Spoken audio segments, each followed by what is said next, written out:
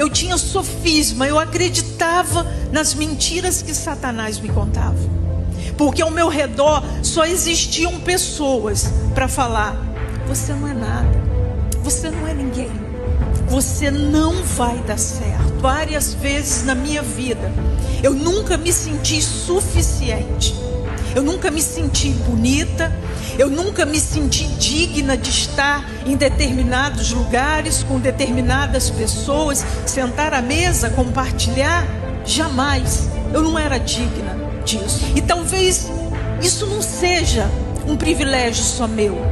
Talvez toda a sua infância você ouviu: você não é nada, você não vai dar certo.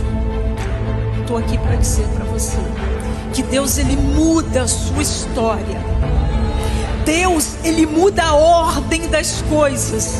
Com 50 anos, ainda há força em mim para subir e conquistar a terra prometida.